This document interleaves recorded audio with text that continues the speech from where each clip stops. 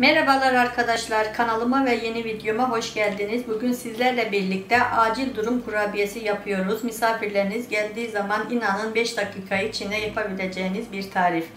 Öncelikle malzemelerim 250 gram tereyağı, 1 bardak pudra şekeri, 4 bardak un, 1 su bardağı ceviz, 1 kaşık toz şeker, 1 adet yumurta, 1 paket kabartma tozu. Malzemeleri saydığıma göre yapım aşamasına geçiyorum.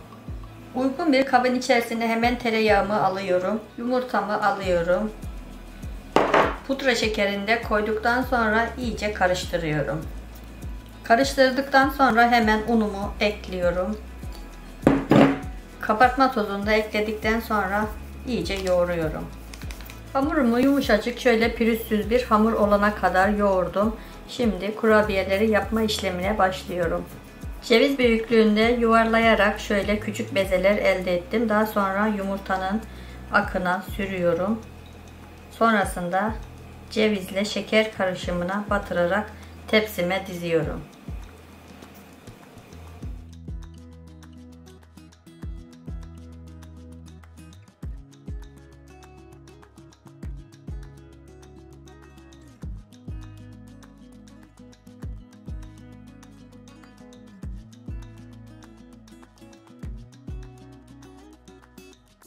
Kurabiyelerimi hazırladım. Tepsiye yerleştirdim. 180 derecede ısıtmış olduğum fırında 20 dakika pişirmemiz yeterli.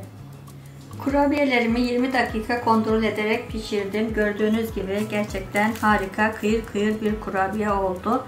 20 dakikada pişmez demeyin arkadaşlar. Kurabiyeler soğudukça çektiği için bir problem olmuyor. Beni buraya kadar izlediğiniz için çok teşekkür ederim. Kanalıma destek olmak için beğeni ve yorumlarınızı bekliyorum. Bir sonraki tariflerde görüşmek dileğiyle. Hoşça kalın, sevgiyle kalın.